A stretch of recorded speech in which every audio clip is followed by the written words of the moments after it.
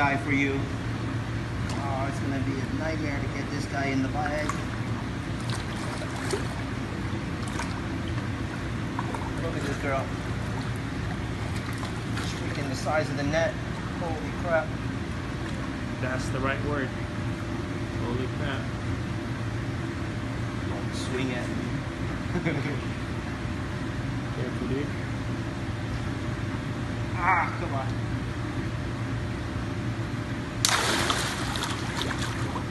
Ah, we lost her.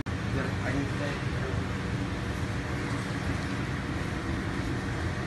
Oh, can I do it? Oh, Rod, I need your muscles for this. Oh. There we go, nice and gently. Get in there. Woo!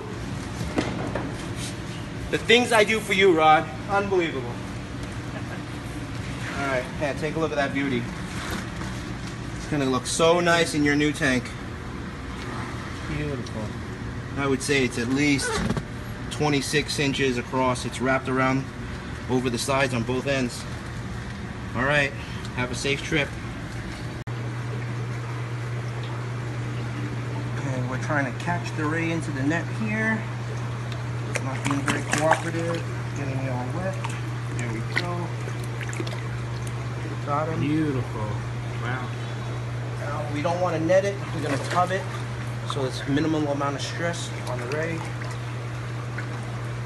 we can pour out some of the excess water.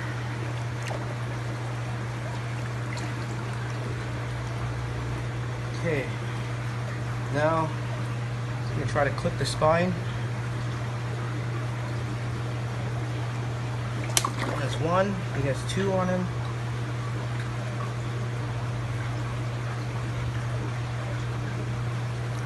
Here's the other one.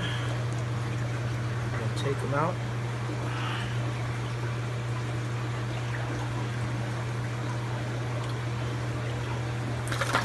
All right, good. Take out a little bit more water.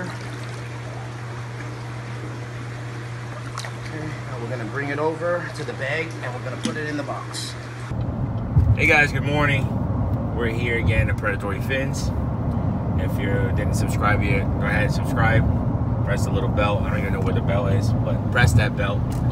Today we're gonna show you the first part of the video you already saw with our buddy Kevin at Stingray Biology, packing those stingrays for us.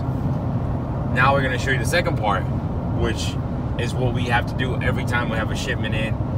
He's in LA, so he ships straight to Fort Lauderdale. But when he comes overseas, we'll have to go to Miami. But as soon as we get to the airport, we're gonna show you the process that we do to pick up the package, go to our warehouse, acclimate the stingrays, and put it back in a tank.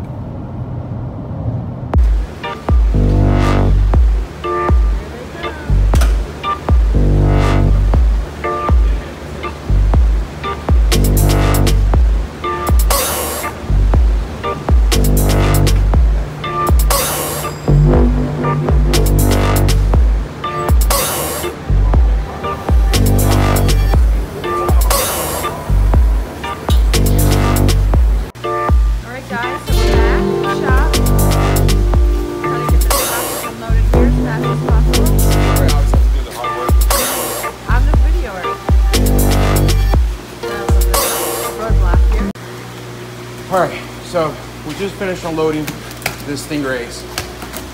They're beautiful. This looks like uh, a marble Motoro. This guy here is amazing. I think it's a big female. Huh.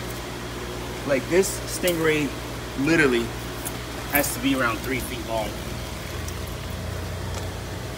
This is huge. Kevin, you're the man, bro. Every stingray I got from you, that one, this one, that came from my buddy Vincent. Bat Ray, thank you, Vincent. Uh, where's the other ones? That big male over there. Hey guys, I import stingrays from all over the world, but when I do get them from Kevin, I'm not lying.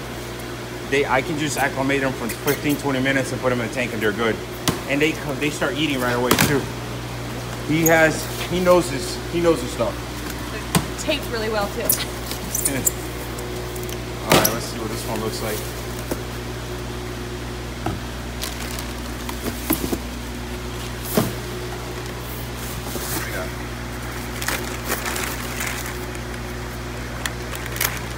Where's you trying to see, buddy?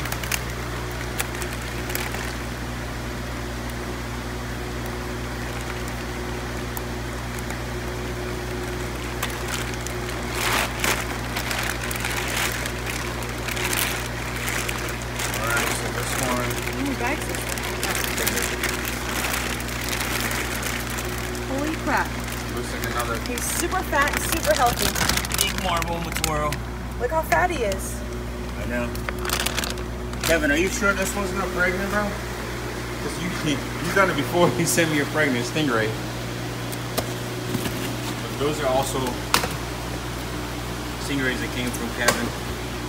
Guys, stingray biology. If you're looking for stingrays, you can either get it from him or from me. Uh, that's where I get most of my stingrays. Dun, da, da. Oh, that's pretty. Look at this one. I think this might be the male. Yep, that's the male. So three females and one male. But look at this female. I'm in love with this one here. We gotta come up with a name for her. Oh my god. That was our big female in the tank. And now we got three more. You want to put out Awesome. Now, For the drip is the better. yeah, let's take them out of the bag, Okay. put them in the styrofoam right here. Like this. Careful, careful. Oh, Okay. yeah. Holy crap. Oh yeah, beautiful boy. Kevin, once again, bro, you did it. Every, I never got a dead stingray from you, bro. Every single one of them. Holy crap. Oh, thanks. Sorry. Careful, dude.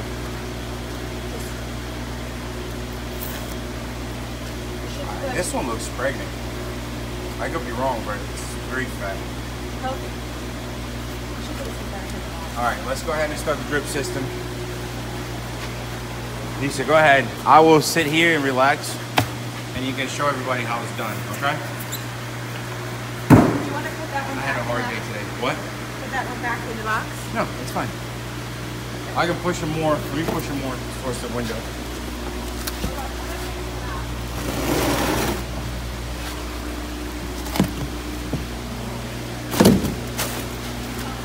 Hold on. I sound, I sound like an out of shape man. I can't even breathe. No, no, leave that one in there. You can't, you can't even, even able breathe. It just, it just right. sinks in. It's very heavy.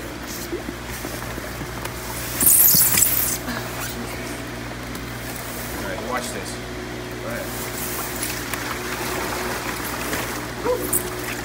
Look at the size of the stingray. How do you even how do you even ship this stuff? And make sure they're alive. Here, can you hold this camera? I want to measure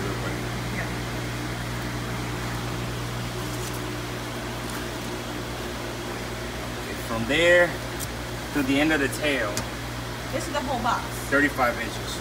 And it's still a little bent. Just a disc is around 22 inches. Almost two feet. Yeah, that's crazy. All right, Drip system. let's show everybody how we do the drip system. Wait, fir- first, let me do something important. Sit down. Let me sit over here. Oh. All right, so what we're doing right now is what we like to do to pretty much every fish that we bring in. These guys came from LA, so we don't have to do two hours of drip system, you know, 15, 20, 30 minutes. We find depending on the, on the temperature of the water. That's good enough, then. You're gonna start sucking sand if you keep going low. Who's in charge here? I am. No. Yep. I'm just letting you know. If you keep going low, you're gonna suck in sand. Look.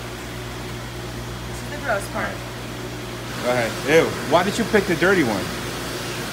It's all dirty. You could have done the other. I'll do it for you.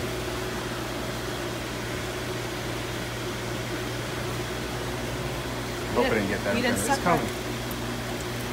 I'm a good sucker. Perfect. All right, so that's One. nah. Amazing.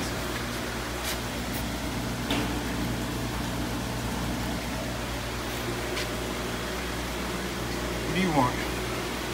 Everybody's waiting for food. I'm gonna feed you guys tomorrow. All right? I promise. Blake said he's gonna come here, and, and I told him that I would feed him in front of him, or he'll help me feed him. So.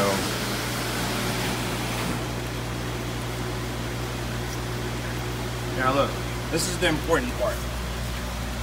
See, we're doing the drip system, but it's literally just running, right? When we get them from South America or another country, the water is so different. Babe, can you give me, give me a second here? Just hold this for me. The water is so different that when we do the drip system, Oh, go ahead, see, hold it. We actually let the water run like this, like drip, Drip. like that, for two to three hours to make sure that they acclimate perfectly. But like I said, the water in LA, in Florida, the temperature is pretty cold in there, so we're probably gonna leave for about 30 minutes. And uh, then we're gonna show you how to put them, how we put them in a tank.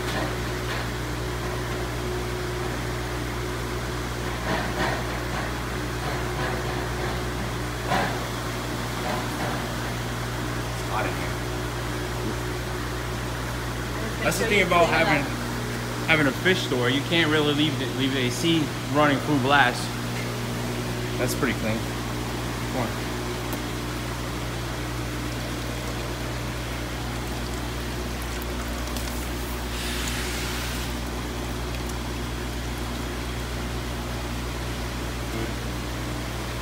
The last one.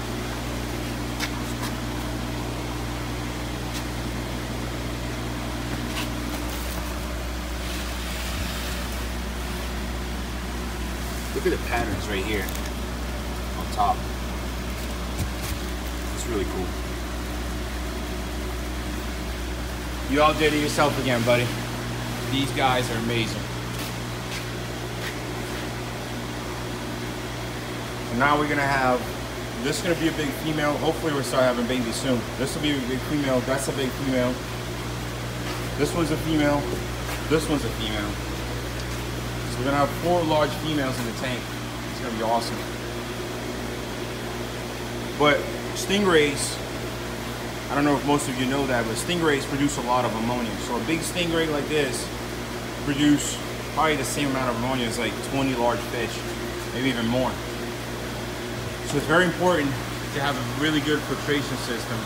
Like I built that myself, but that's a, uh fluidized sand filter over there, and that's uh, movable media. Okay, so this two, they're very large. It's a very large system, so this water will be fine even with the stingrays in. Uh, in that chamber chamber over there, I still gotta add more lava rock and dead coral, and we have the sump on the other side that takes all the impurities out of the water. But this is amazing. Look at the little bat ray.